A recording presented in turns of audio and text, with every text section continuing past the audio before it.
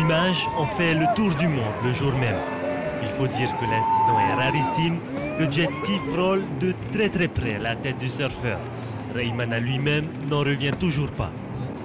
Je sais pas, j'ai vu une ombre passer au-dessus de ma tête.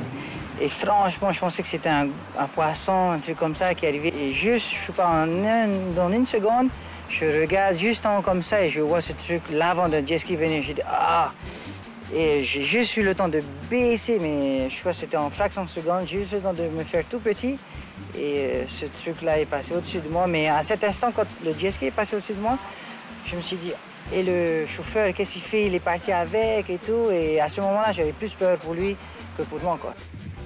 Ce n'est qu'à sa sortie de tube que Raymana réalise que c'est son jet ski qui est drossé sur le récif.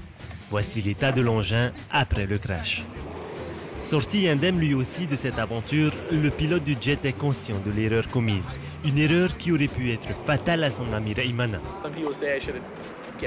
Certains disent que j'aurais dû aller à fond pour sortir de là.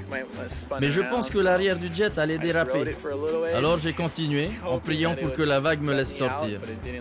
Ça n'a malheureusement pas été le cas. J'ai pensé aussi que si je restais sur le jet, j'aurais descendu la vague directement sur Raymana. Alors que sans mon poids, le jet est miraculeusement passé au-dessus de Raymana.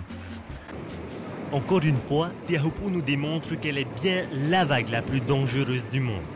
Car à ceux qui en douteraient, surfeurs ou pilotes de jet ski, personne n'est épargné.